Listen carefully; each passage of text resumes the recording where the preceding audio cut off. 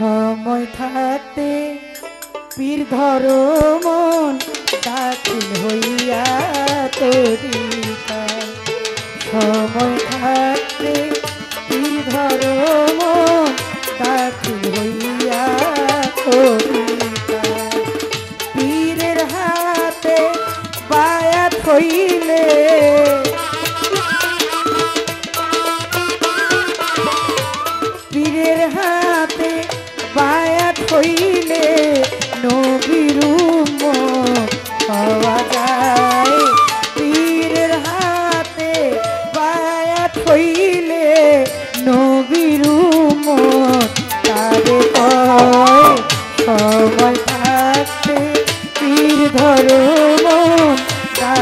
দাখিল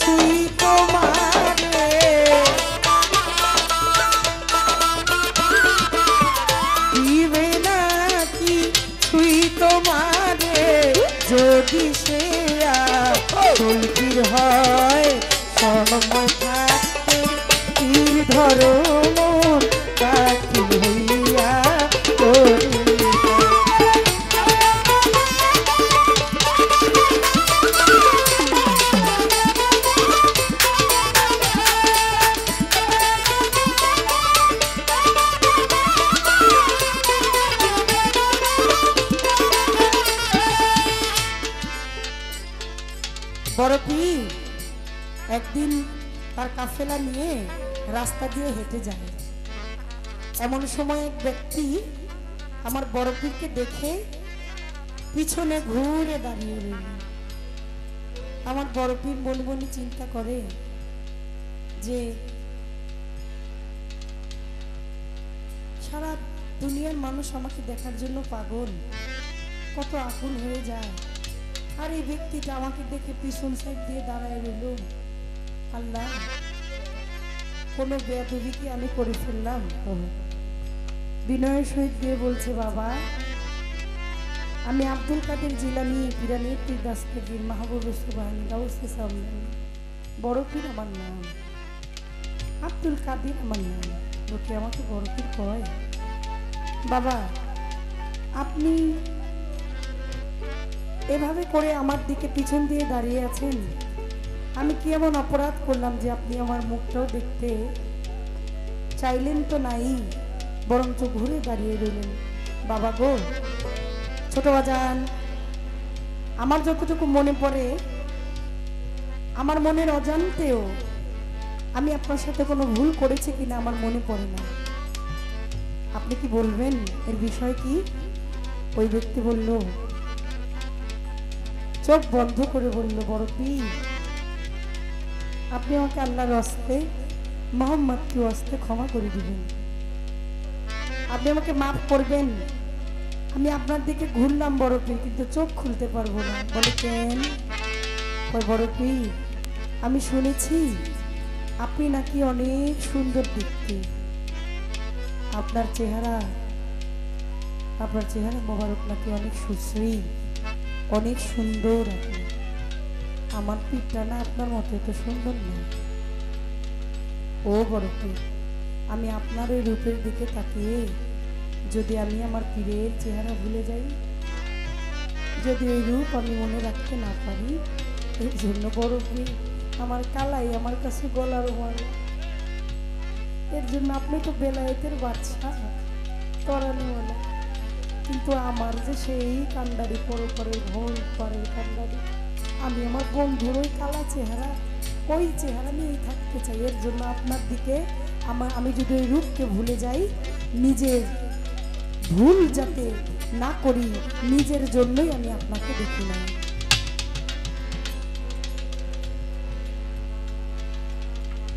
এক ভক্ত গেছে পীরের বাড়ি। পীর কয়, বাবা কেন আইসো? কয়, বাবা, বিদেশ ছিলাম, অনেকদিন ব্যবসা বাণিজ্য করছি। এখন আর রুটি রুজির ব্যবস্থা কমে গেছে। বাবা, আমার একটু বিদেশ যেতে বাবা। দয়াল কয়, বাবা রে, এবার আর যাইস না। এবার গেলে বিপদ হইব। মনে মনে চিন্তা করে দয়ালে নিষেধ করল, আবার কয় দূরও যদি বিদেশে না যাই, তাহলে কামাই না করলে সন্তান সন্তানি বাঁচবে কীভাবে? বিদেশ গেছে। ওই বছর ব্যবসায় লাভ বড় বেশি হয়েছে। ঘুরা এই শহরে আর পীরের বাড়িতে যায় না কত তো কত হইল এই একটা পীর হইয়া আমারে তো প্রথমে বলো যাইতে না। তারপর আমি গেলাম। গেলাম তো গেলাম। এত বছর যা বিদেশ করছি, এইবারের বিদেশের জীবনে আমার সর্বোচ্চ পয়সা আমি কামাই করছি। হ্যাঁ কোনো ফির হই না। গেছে, বড় পীরের দরবারে করে বড় পীর। আপনার দরবারে আসছে আমার মুরিদ করেন। বড় পীর তো অন্তর্জামী চোখ বন্ধ করে চায়, দেখে না, তো বিক্রি হয়ে গেছে, বিক্রি মাল। এই একে আর ক্রয় করা, এর আর ক্রয় আর বিক্রয়ের কোনো কিছু নাই।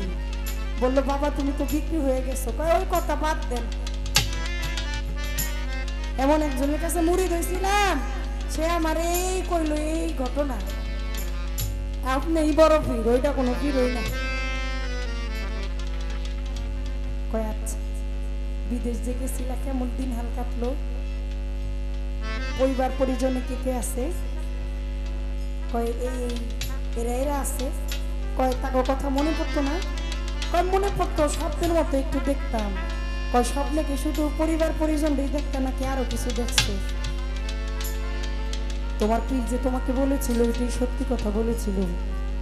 তুমি যে পীরের, তুমি একটু চেয়ে দেখো, তোমার এই খোলকূপের নিচে একটা দাগ দেখা যায়।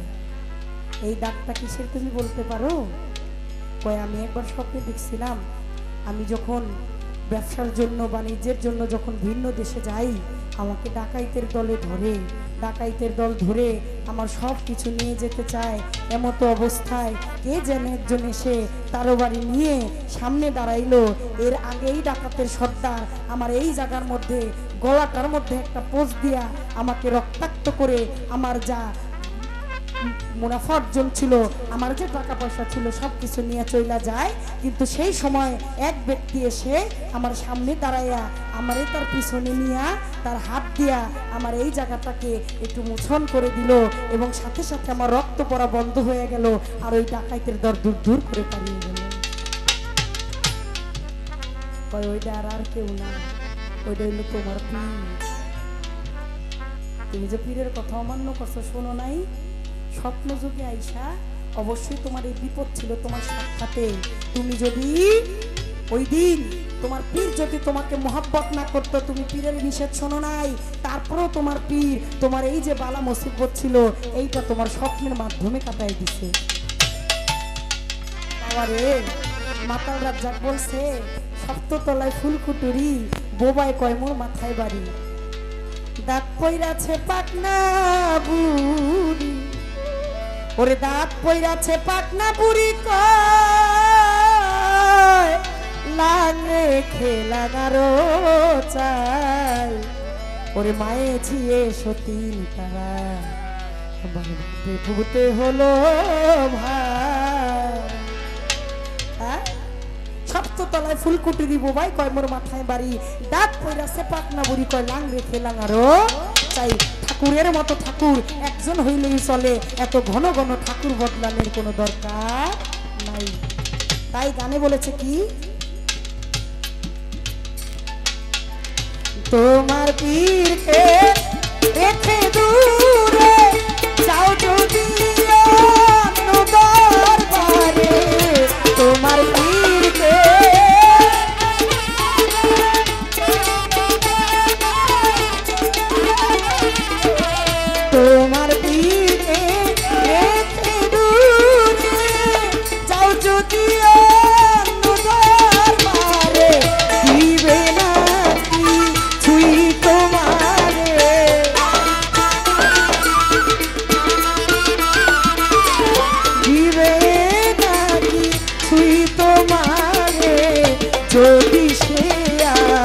嗯。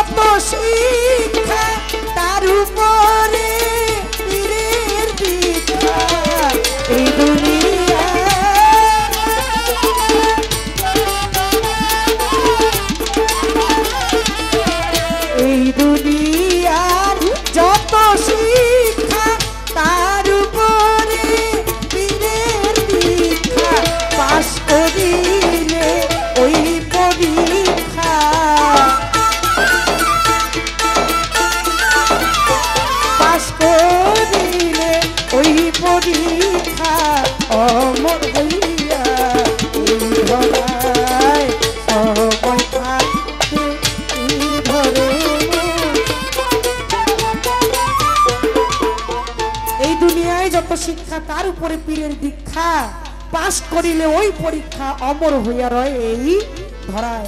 যেমন অমরত্ব লাভ করেছিল নিজামুদ্দিন আউলিয়া। গুরু ছিল তার আমির খুশি। গুরুর পরীক্ষায় পাশ কইরা জন্ম জন্মান্তরের জন্য রঙ্গিলা হয়ে গেছে।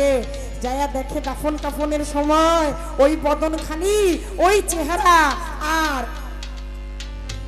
আমির খসরু নাই। দয়াল নিজামুদ্দিন আউলিয়ার রূপ হয়ে গেছে। গুরুর জাতের সাথে মিশা গেলে আর নাই মরণের ডর গুরুর জাতের সাথে যদি তুমি মিশে যাও, তাহলে তোমার আসা যাওয়া বারণ হয়ে যাবে। তোমার জন্ম মরণের আর কোনো ভাবনা থাকবে না, কোনো চিন্তা থাকবে না। কিন্তু মান আরাফা নাফসাহু ফাঁকা তারাফা রাব্বাহু, যে চিনেছে নফসকে, সেই চিনেছে এই রবকে। সনাতন ধর্মে শ্রীকৃষ্ণ মহাপ্রভু বলেছেন, আত্মানং বৃদ্ধি। নিজকে নিজে চেনা। সক্রেটিস বলেছেন নো দাই সেলফ এখানেও কিন্তু সার্বিক ভাব যে কথা নিজকে নিজে চেনা। এবার নিজকে নিজে কি করে চেনা যায়? তোমার ওই কুণ্ডলী যখন চেতন হয়, তখন তোমার এই নিজকে নিজের চেনার উপায় অতি সংকটে রয়। এই কুণ্ডলী যখন তোমার চেতন হবে, তখন তোমার এই আত্মা জাগৃত হবে। সেই দিনই তুমি যাইয়া ভক্তি দিও একজন আরজুসার উপায় অনেক গোপন কথা আছে। এই দুনিয়ায় অমরত্ব লাভ করার অনেক সাধু গুরু, অধে অনেক মুনি ঋষি, এই জন্ম জন্মান্তর চক্ষের লোক চক্ষুর অন্তরালে চলে গেছে। এই ধরাধাম থেকে এই মাটির দেহ ত্যাগ করে চলে গেছে, কিন্তু অমর হয়ে রয়েছে সংসারে। অমর হয়ে আছে সংসারে। এই অমরত্ব যদি লাভ করতে চাও, এই দুনিয়াদারি, এই আড়াআড়ি, এই বাড়াবাড়ি সব কিছু ছেড়ে দিয়ে যায় একবার ভক্তি জানাও প্রিয় মুর্শিদের পায়। ও মানুষ, দুই দিনের দুনিয়া, দুই দিনের বন্দিগিরি, সময় নাই আর সময় নাই। মাইনসে কয়, বয়স বাড়ে, আমি কই কমে? এটা সত্যি না মিথ্যা সেটা বলেন। একই হাড়ির ভাত বাবায় উপার্জন করে নিয়ে আসে আর মায়ে যাইয়া চুলার মধ্যে রান্না কইরা বাবার সামনে দেয় এক প্লেট, পোলার সামনে দেয় এক প্লেট। একই মাছের টুকরা, একই হাড়ির ভাত, বাবাই খায়া দিনে দিনে বৃদ্ধ হয়ে যায় আর সন্তান যুবক হয়। বাবার জন্য, ছেলের জন্য কিন্তু আলাদা ভারী হা- হাড়ি বসানো হয় না। একই হাড়ির ভাত খায়া কেউ বৃদ্ধ হচ্ছে আর কেউ যুবক হচ্ছে। বয়স দিন চলে যাচ্ছে চলে যাচ্ছে। নাই সময়ের বেশি নাই আসার খুব সময় যাওয়ার সময় নাই। বাবার যৌবনে যে সন্তান আসতো তার নাম দিল বড়। তারপরে যে আইলো তারে কয় মেজো। তারপরে কেউ আইলে আগমনে খুশি হয়ে তারে কয় সেজো। তারপরে নামটাই হলো ছোট। বড় আইলো মেজ আইলো সেজ আইলো ছোট আইলো। কিন্তু যাওয়ার আসার একটা সময় হইল যাওয়ার দিনক্ষণ আর ঠিক রইল না। না। আসা যাওয়ার কি যন্ত্রণা জানলে ভবে আমি আর আইতাম না। আসা যাওয়া কি যন্ত্রণা রে? জানলে ভবে হারাইতাম না। যাও ওই কর্ম করো, দিন ফুরিয়ে যাচ্ছে। সময় নাই, ও মমিন ভাই, সময় আর বেশি নাই। আসা যাওয়া বারণ করো। আইসো একটা সময় নিয়া। কিন্তু কোন দিন যে চইলা যাইবা, সেই দিন কেউ রেজি গায়া, কেউ নিয়ে যাইব। না, দিন থাকতে তীর ধরতে হবে, একজন মুর্শিদের ভজনা করতে হবে। ইমানদার না হইয়া কবরে যাওয়া যাবে না। আল্লাহ বলছে, মুসলমান না হইয়া কবরে আইসো না। এই দুনিয়ার যত শিক্ষা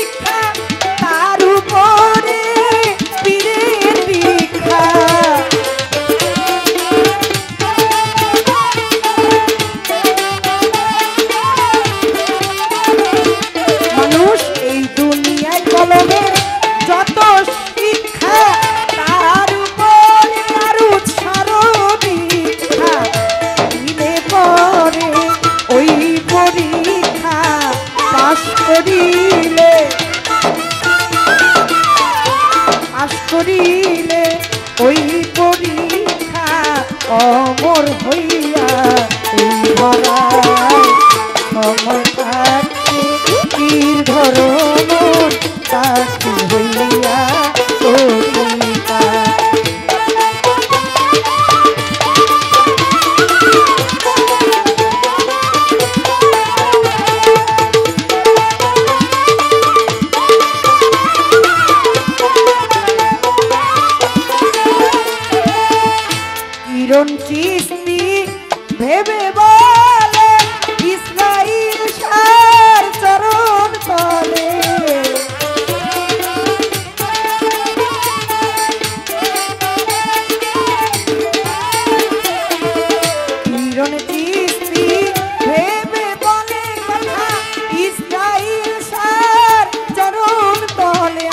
আমার বংশে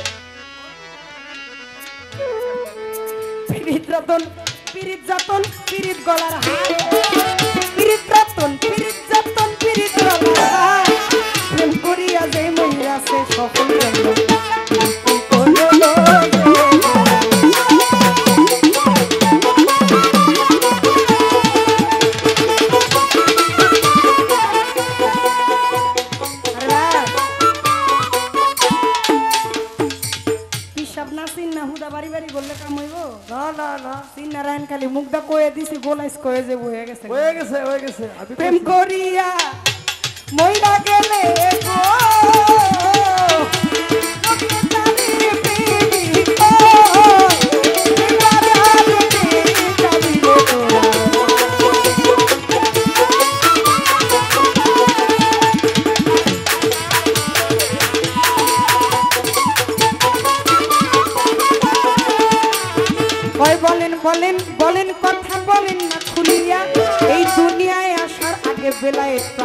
যায় হইয়া বলবেন বলবেন বলবেন কথা, বলবেন যে সমাচার।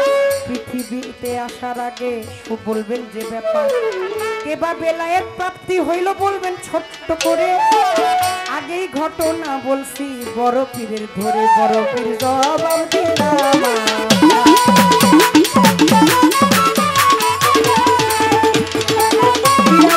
দাস্তগীর মা পুবে সোবাহানি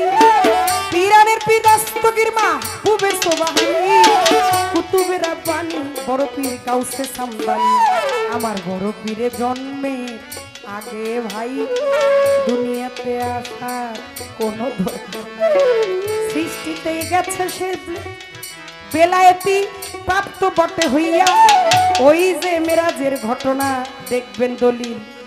দলিল পড়িয়া বোরা কেড়ে লাগাম ধর ছিল খাজা বাবা পাথর হইয়া নবীজিরে পৃষ্ঠতে উঠা।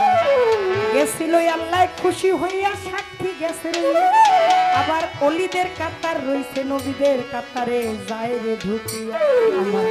বলে, ও জিব্রাইল, মানা নবীর পরে কোন নবী আমি রাখছি না। খুশি হইয়া পর দিলাম দিলাম বলো তারে। অলিদের জামানায় আসবে। বললাম, আপন পাক জবানে সমস্ত অলিদের কাঁধে থাকবে তার পা। তুই না নিও নিও কথা, পাইও না ব্যথা। আমার বড় পীর দুনিয়ায় আসার আগে বেলায় প্রাপ্ত হইল। এইখানেতে বাবলি সরকার কথার জবাব দিল ভালো। কোন কোন বেলায়েতের অধিকারী হইয়া ষাট গজ মাটির নিচে গেছে চাপা খাইয়া। শুনে নিবেন নিবেন কথা আপনারে জানাই। আবু ইউসুফ কের খানি দলিলেতে পাই জোনায়েদ বগদাদির ভক্ত ছিল।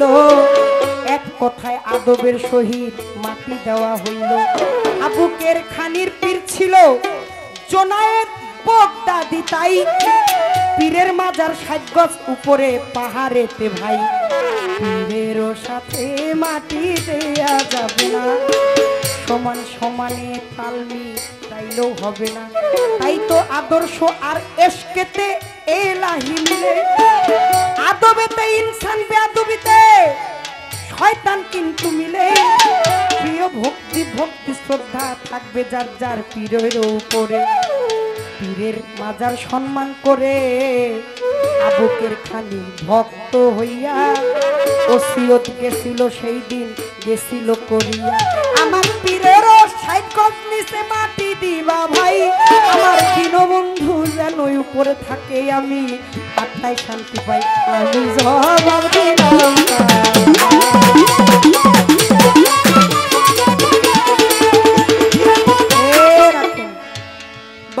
শেষ আচ্ছা। প্রশ্ন যাচ্ছিল জবাব অতি চমৎকার। এইখানে জবাবে আমার কোনো কথাই নাই কিন্তু গল্প যে একটা দিছে। কি এর বলে রোদ উঠলে টের পাওয়া যাইব। আচ্ছা। এক বেডা খালি ঘন ঘন বিয়া করে। হ্যাঁ। স্বাভাবিক খালি বিয়া করেন না। মানে যাইতে যাইতে কোন রকমের যেইটারে আনে এইটাই তো বিদায় হয়ে যায় কিন্তু ও তো যাইতেছে না। হ্যাঁ। আর মহিলার মুখে আবার খুব মধু। কারণ আমাদের সমাজে এরকম পুরুষ কিংবা নারী এটার ইয়ে না সমস্যা না। সমস্যা হচ্ছে কিছু মানুষই থাকে। এরা হলো ভ্যাসধারী শয়তান। দেখবেন দিয়ে একদম আপনার ভিজাই দিতেছে। রে আরে বোন তোমার ছাড়া আমার কিছু বাল চায় না। আচ্ছা। তোমারে না দেখলি পড়ার মধ্যে কিরম কিরম ঠেহে। হ্যাঁ সতীনে যদি দুনিয়ায় সতীন রে বাপ বাইরা খাওয়ায় সে তো শান্তি আছে দুনিয়ায়। হ্যাঁ? পরনের কাপড়টা যদি ধুইয়া দেয় তা মনে হইব না হাইলো মায়ও তৈরি করে নাই হতিনে যা করতেছে। মার পেটের পরিণত তুচ্ছতা ছিল হয়ে যায় মানে বেডি খালি কৌশল খাটায়। আইলি কয় স্বামী এসে করে তুমি যাও না। তুমি কেমন গো? এনে এনে ঘুরো। তা আবার কয় আসো একটু মাথার মধ্যে বিলি দিয়ে দে। তা কাপড়টা গোসল করতে গেলে কয় যাও ছোট। হ্যাঁ। তুমি ওনার কাছে যাও। আমি তোমার কাপড় দিয়ে দিই। অন ছোট কয় বড় যে কি বালা? এরম বালা তো আমার জীবনে আমি রূপকথার গল্পেও শুনি নাই। অনেক খালি মনে মনে চিন্তা করতেছে খেদায় কেমনি খেদায় কেমনি? তে ভাদ্র মাস। ভাদ্র মাসে তালে রে ও, ওরে কার্তিক মাসের শো। ও স্বামী, তার বন্ধু আইসা তুমি